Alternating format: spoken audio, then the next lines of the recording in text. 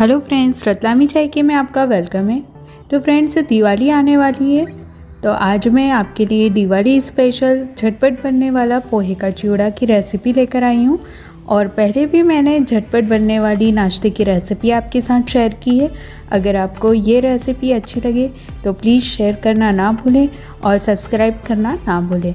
अगर मेरा वीडियो अच्छा लगे तो प्लीज़ लाइक करें।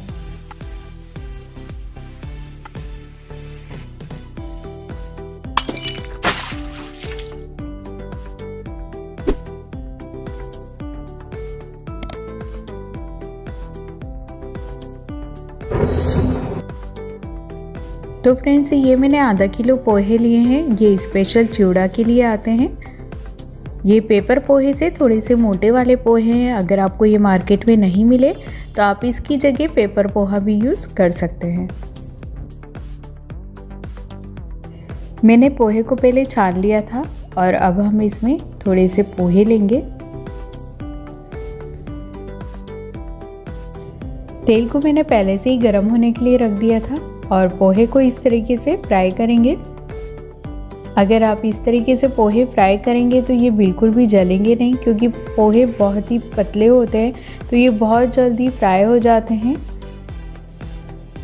दो सेकेंड में ये फ्राई हो जाते हैं और आपको तेल इतना ही गर्म रखना है कि डालते ही पोहे ऊपर आ जाए।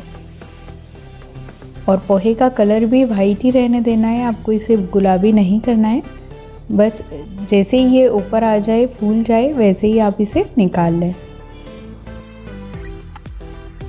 इसका अच्छी तरह से तेल निकाल देंगे और इसे एक बड़ी थाली में डाल देंगे। तो देखिए, आप इस तरीके से पोहे फ्राई करेंगे तो आपके पोहे बहुत जल्दी फ्राई हो जाएँगे। आपको बिल्कुल भी दिक्कत नहीं होगी। और ये जो दूसरी चम्मच है उससे आप इस तरीके से बाकी जो बचे हुए पोहे निकाल लें।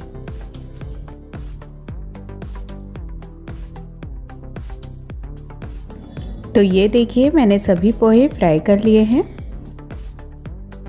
पोहे में डालने के लिए ये मैंने कुछ चीज़ें ली है जिसका टेस्ट बहुत अच्छा लगता है पोहे में। तो ये मैंने सूखा नारियल लिया है, जिसके पतले और थोड़े बड़े पीस कर लिए हैं, मूंगफली के दाने और कड़ी पत्ता। जिस तेल में हमने पोहे फ्राई करे थे, उसी में हम ये सभी चीज़ें फ्राई कर लेंगे। तो ये मैंने नारियल के टुकड़े डाले हैं। तेल मीडियम गरम होना चाहिए और इसे हम लाइट ब्राउन होने तक फ्राई कर लेंगे। तो ये देखिए, हल्के से लाइट ब्राउन हो गए हैं। तो अब हम इसे निकाल लेते हैं।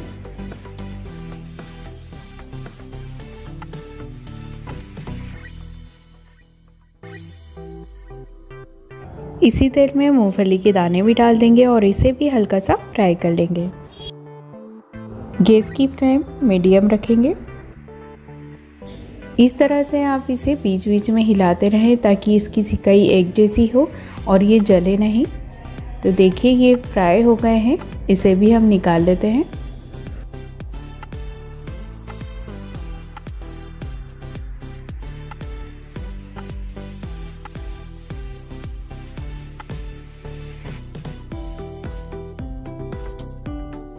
अब इसमें हम करी पत्ते भी फ्राई कर लेंगे। तो इस तरीके से आप करी पत्ते ले लें और इसे गरम तेल में इस तरह से डाल दें।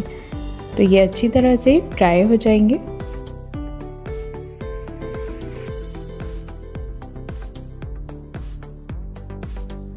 तो ये देखिए, करी पत्ते भी अच्छी तरह से कुरकुरे हो गए हैं। तो इसे भी हम निकाल लेते हैं। इसे डायरेक्ट पोहे में डाल देंगे। और जो हमने मूंगफली के दाने फ्राई करे थे, वो भी इसमें डाल देंगे। और साथ में जो हमने सूखा नारियल फ्राई किया था, वो भी डाल देंगे। अब हम इसमें सभी मसाले डालेंगे। तो ये मैंने वन फोर्थ कप शक्कर ली है, डेढ़ चम्मच काला नमक, एक चम्मच सादा नमक, तीन बड़े चम्मच सौंफ, दो बड़े चम्मच लाल मिर्च पाउडर, आधा चम्मच हल्दी पाउडर और आधा चम्मच टाटरी। और ये मैंने कुछ छः से सात लौंग ली है और पंद्रह से बीस काली मिर्च। इन सभी सामग्री को जार में डाल देंगे और इसका बारीक पाउडर बना लेंगे। मैं इसमें हींग नहीं डाल रही हूँ। अगर आप हींग डालना चाहते हैं तो इसमें एक चौथाई चम्मच हींग डाल दें।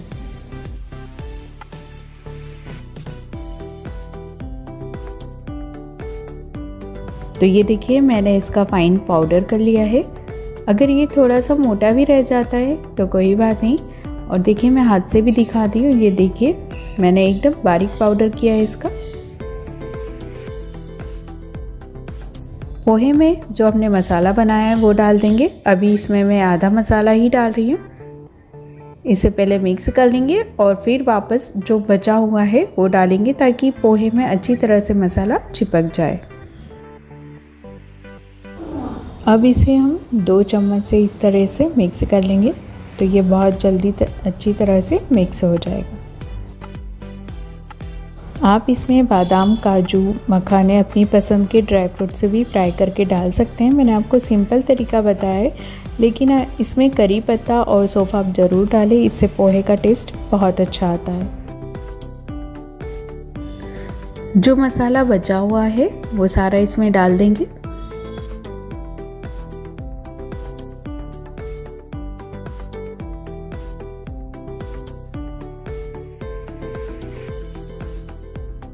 अगर आप इसमें नारियल और मूंगफली के दाने नहीं डालना चाहते हैं तो आप इसे स्किप कर सकते हैं।